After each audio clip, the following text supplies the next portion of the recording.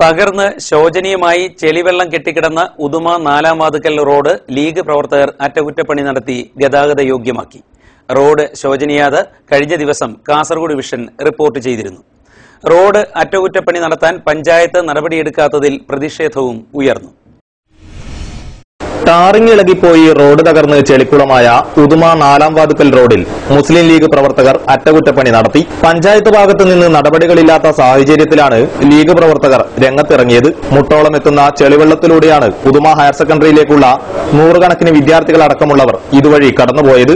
ഇരുചക്ര വാഹനങ്ങൾക്കും മറ്റു വാഹനങ്ങൾക്കും കുഴിയും ചെളിവെള്ളവും നിറഞ്ഞ ഇതുവഴി യാത്ര നാളുകളായി ഏറെ ദുസ്സഹമായിരുന്നു. സ്കൂളിലേക്കുള്ള റോഡ് ശോചനീയമായ സംഭവം കഴിഞ്ഞ ദിവസം കാസർഗോഡ് വിഷൻ റിപ്പോർട്ട് ചെയ്തിരുന്നു. അടിയന്തര അറ്റകുറ്റപ്പണി പഞ്ചായത്ത് ഭാഗത്തു നിന്നും ഉണ്ടാകാത്തതിൽ നാട്ടുകാർ പ്രതിഷേധമറിയിച്ചു. ഈ പ്രദേശത്ത് എം ഫണ്ട് ഉപയോഗിച്ച് പാത കോൺക്രീറ്റിംഗ് പ്രവൃത്തികൾ നടത്തിയെങ്കിലും ഫണ്ട് തീർന്നെന്ന കാരണത്താൽ നിശ്ചയിച്ച പ്രദേശം വരെ കോൺക്രീറ്റ് പ്രവൃത്തികൾ പൂർത്തിയാക്കാൻ സാധിച്ചിരുന്നില്ല.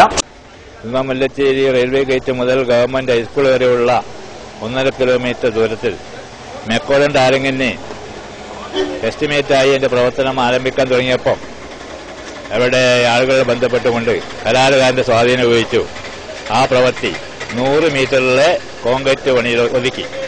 എന്നാൽ ആ സമയത്ത് ഏറ്റവും ആ റോഡിലെ ഏറ്റവും ദുർഘടമായ സ്ഥലത്ത് പ്രവൃത്തി ചെയ്യാതെ റോഡ് മോശമാകാത്ത സ്ഥലത്ത് പ്രവൃത്തി ചെയ്തു അവരുടെ കാശും വാങ്ങി കലാലയനം പോയി.